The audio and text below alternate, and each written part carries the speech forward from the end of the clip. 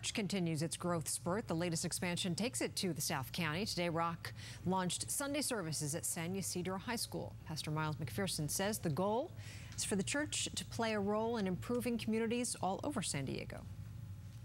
We have people from our church all around the county, so we're looking for places all around the county to, so our congregation can worship in their neighborhood and serve their neighborhood and get their neighbors to come to church and serve their neighborhoods. And, and so this was one of the neighborhoods, and the school came available.